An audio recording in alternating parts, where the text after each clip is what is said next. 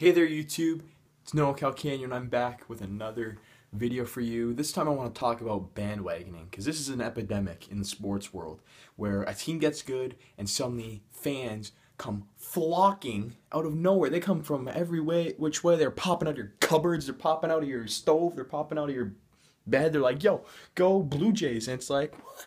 Bruh, I've liked this team for the 22 years they didn't make the playoffs, and you're just coming out of nowhere saying that you're this diehard fan. No, you're not. This is so annoying when people do this, and you see it all the time, no matter what city you're in. But there's obviously teams more prone to it, like the Miami Heat, the Seattle Seahawks, the the hmm, the Cleveland Cavaliers, the Pittsburgh Penguins, and of course the Toronto Blue Jays this year and the New York Yankees most years, the LA Dodgers most years. But still, the point is, bandwagoning is annoying, so stop it.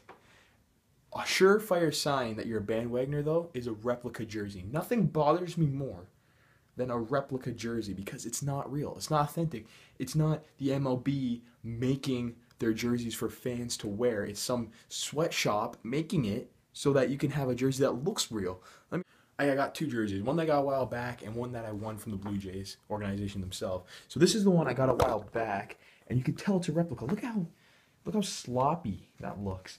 Look at this nice, amazing, authentic jersey. And I mean, it's just way better to get authentic. And I think any self-respecting sports fan would agree with that. That replica jerseys are not a good thing.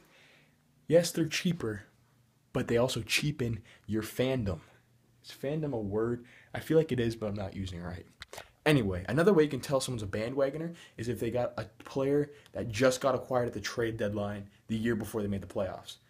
So, like, if you're a Jays fan, you got Tulo, um, if you got Price, or if you got, what's the other one? Revere on your jersey, you're, you're probably a bandwagoner because you probably were like, oh, the Jays are doing pretty good. They're probably not going to make the playoffs. And then they got through the guys. You're like, yes, I've always been a Jays fan. I always believed I'm going to get him on my jersey because I love him. No, that is not how you do it.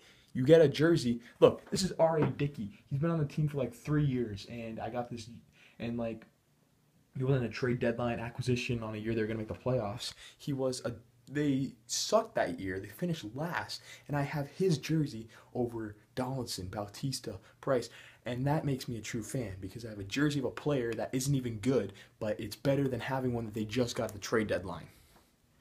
And another way you can tell you're a bandwagoner is if it's not even a city near you. If it's just, oh, I need a team, this one wins a lot, let's go. Like the teams I mentioned before, like Seattle Seahawks, New England Patriots, Pittsburgh Penguins, those kind of teams that you just kind of hop on and say, yo, I like these guys because they're good, or they have this player I like. It's like, nah. And I nothing bugs me more than the people who follow LeBron James around. Oh, go Cavaliers, go Heat, go Cavs, whatever. Stop it.